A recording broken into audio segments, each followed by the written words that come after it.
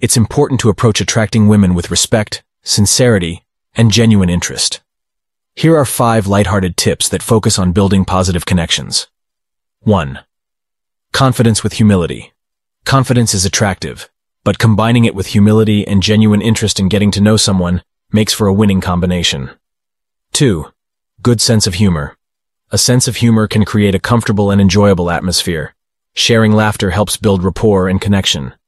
3. Active listening. Show genuine interest in what she says. Active listening demonstrates that you value her thoughts and feelings. 4. Shared interests. Engage in conversations about mutual interests and hobbies. Shared passions provide a strong foundation for building connections. 5. Kindness and respect. Treat her and others with kindness and respect. Genuine kindness shines and leaves a lasting impression.